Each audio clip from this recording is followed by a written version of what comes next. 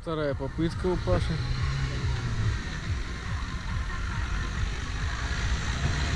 Бодренько, очень бодренько.